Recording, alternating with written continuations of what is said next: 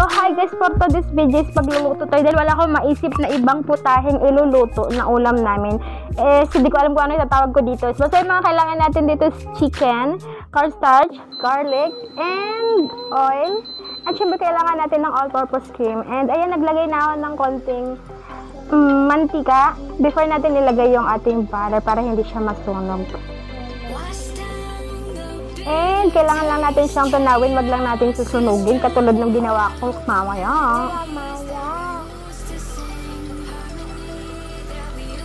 And then pag okay na siya, medyo sunog na siya, maglagay na tayo ng ating chicken na minarinate.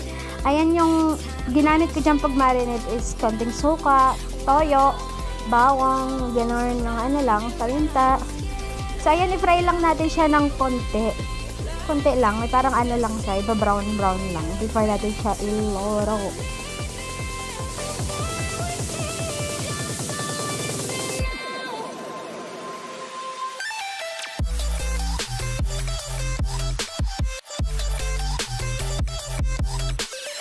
So, ayan, parang medyo okay na siya. Pag ganyan na yung parang brown brown or mas medyo brown pa dyan. I-ano natin, balik ka rin na natin. And hintayin ulit natin ma hintayin ulit natin maluto yung sa kabila. Oops! Quiet pa lang.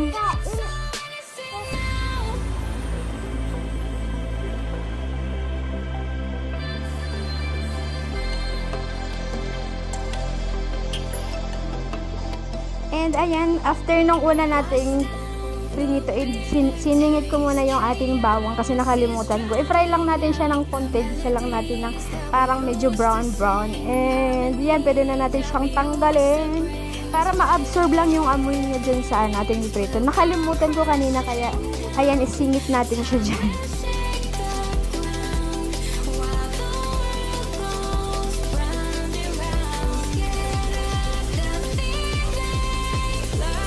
Ayan, after ng ano, nung bawang is magsalang ulit tayo, mag-fry ulit tayo ng iba, pangalawang salang natin. And, ayan, so yan, ilagay lang natin siya, parang hindi mainit yung mantika yun.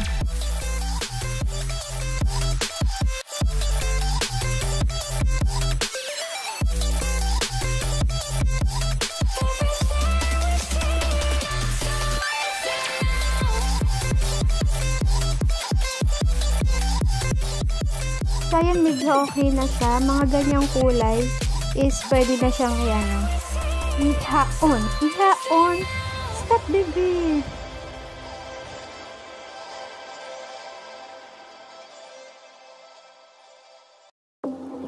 And then, pag naluto mo na lahat ng iyong chicken, ilagay na lahat ng iyong pinito, ilagay na lahat sa isang ano, and yung second step na gagawin natin dito is tipidlahan na natin siya ng ating mix.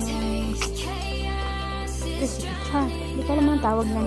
So, after niya, nilagay natin na yung ating mushroom. Pwede kayong gumamit dito ng fresh mushroom or any mushroom.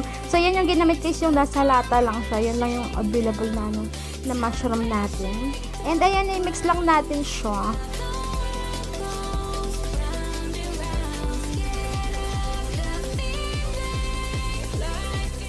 And then, after nyan is maglagay na tayo ng konting cornstarch. Mga dalawang kutsarang cornstarch na lagay natin. And then, mix lang natin. Ang purpose dito ng ating cornstarch is para, di ba, mag, ano siya, mag-thick. Tumapot. And nilagay ko na yung ibang, ano, na yung pinangbab yung ano yung natitirang sauce ng pinangbabad ko ng chicken para mas lalong ma-absorb yung lasa niya. And iluto lang natin siya and nilagyan ko siya ng ano tawag nito? Yung sabaw ng ano, ng mushroom na ginamit ko dito. Yung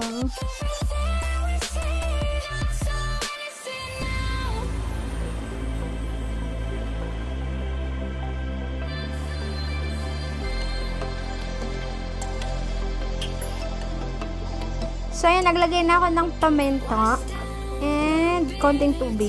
Ganon. And mix lang natin siya na ganon-ganon para hindi siya masyado, hindi masunog yung baba.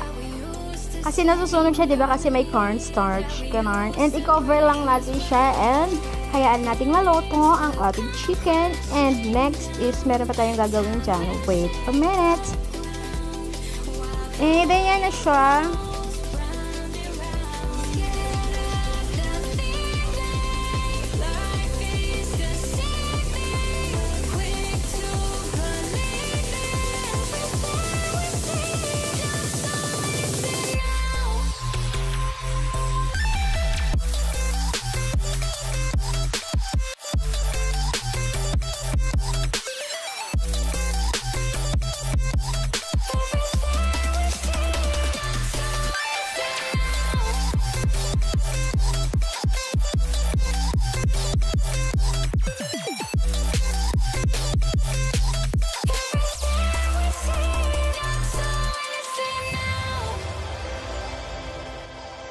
So, ayun guys, yung last natin nilalagay dito yung ating all-purpose cream. Gumamit ako dito ng isang maliit na karton. Yung parang regular lang na size ng all-purpose cream. And, yes, yan yung pinaka-last natin na ilalagay.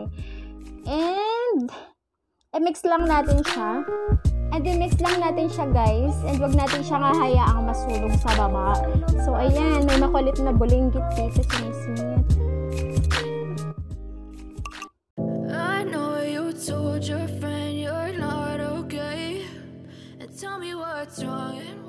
and yan, takpan lang ulit natin siya and hayaan nating maluto at lumambot yung ating chicken. And inad ko na pala yung bawang na frinay ko kanina. So, taran! Ayan na siya, guys. Quiet, baby. Ayan na yung ating finished product. Finished product. So, that's all for today. Thank you for watching. Don't forget to subscribe. Bye! Yeah, Every.